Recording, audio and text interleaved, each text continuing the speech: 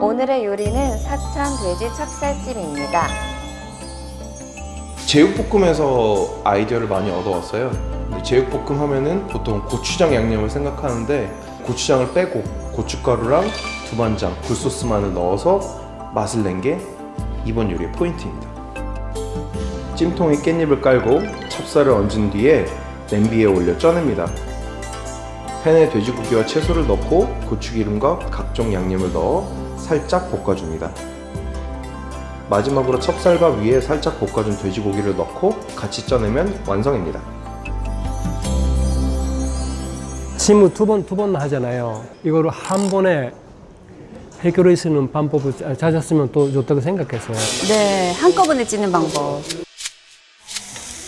저희는 지금 양념을 만들고 있습니다. 다진 마늘을 넣고 있습니다. 고춧가루 들어가요. 네. 이번엔 산초가루를 넣습니다. 촉가루.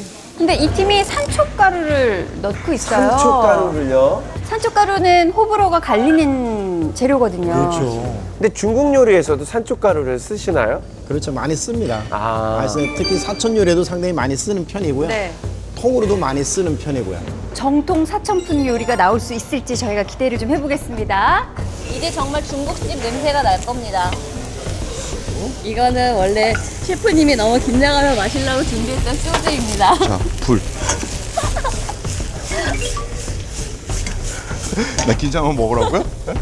경연이다 보니까 그 뭔가를 보여주고 싶었던 것 같아요. 오늘은 확실한 불맛을 내고 싶었어요. 오늘은 또 특히 경연이니까 위험을 좀 감수하더라도